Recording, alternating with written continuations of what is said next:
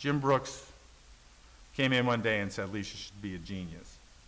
And, you know, and I said, hey, Jim Brooks is a genius, because that's like, that's, it's like, why not? There you go, a perfect idea, makes complete sense. Now she, because, you know, her and, her and Bart in the, in the short ones are just two sides of the same coin, they're just two brats.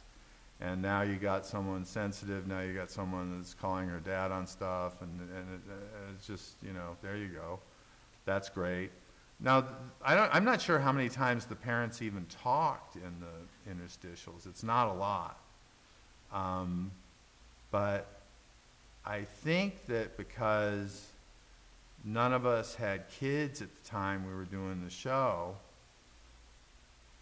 the uh, the perspective on it was a parent's perspective or an adult's perspective uh, uh, on, you know, and and uh, um, and not.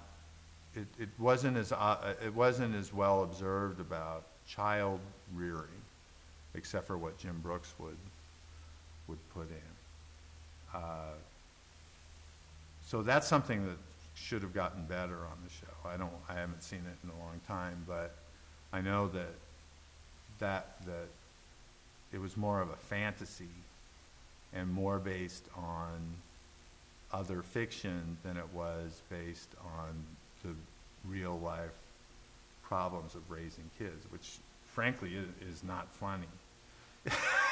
it's just stuff that's so annoying you want to kill them and there's no wit to it. There's no, there's no happy ending to it. You just like go to bed and hope it doesn't happen again the next day.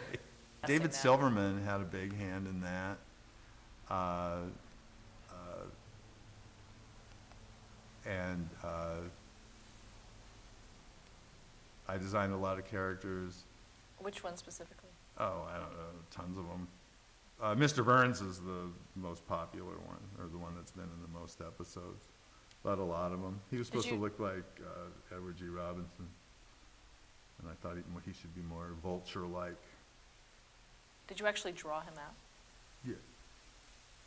Yeah, the, the, um, the character designers, when they couldn't really, you know, we would, we would like approve stuff. We would say, no, this isn't right, no, this isn't right, and at some point they would say, well, what do you want? And I would do, I would just do a quick sketch on a, on an envelope or something and send it to them.